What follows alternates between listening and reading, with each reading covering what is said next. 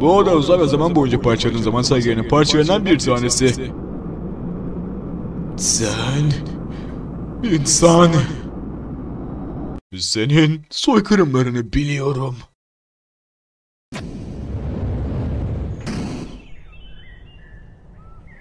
Ben mi demiştim? Ha yok, biz demek istedim.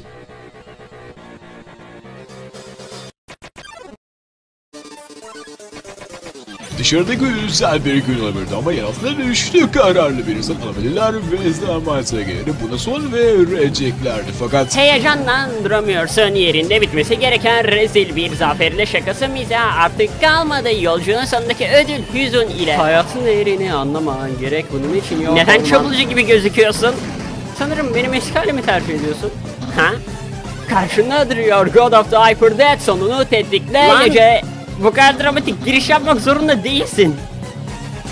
Kimse linç alını etmek istemedim fakat kalgrafim beni buna bağlıyor. Halkımı güvenliğini sağlamak zorundayım ama kalbimdeki sevgi beni başka bir yöne çekiyor. Harika Papyrus sonunda karşında Spotlight ışığının tam da altında Crossbones Benim olmasaydı adım eğer. Rick değil. Sen benim kalbimi kırdın ama ben de senin bir taraflarını kıracağım. Bir daha geçerseniz filmle dalga. Seni de hızlı parçalayacağım. Gösteri sırası artık ben de yıldız gibi parlayacağım. Her zaman bir numara olacağım. Petrik üstüne alınma. Şimdi de tam karşında duruyor kötü zaman üçlüsü.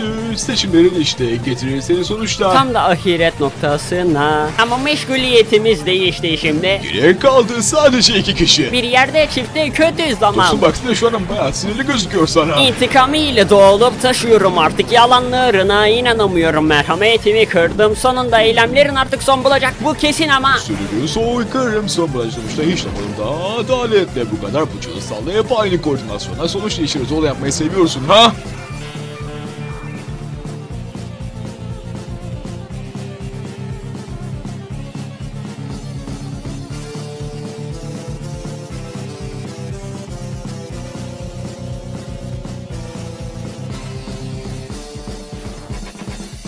Susum bana göz sonuçta çaresiz olduğum yaşamadığım kadar yalnızlık benim tek arkadaşım sıkıştım bir save noktasında.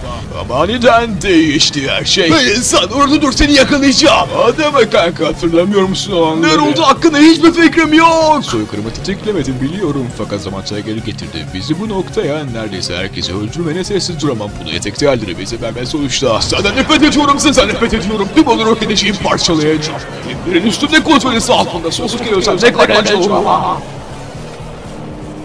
Ha, Dostum ne o hakkında hiçbir fikrim yok. Ama bildiğim bir şey var.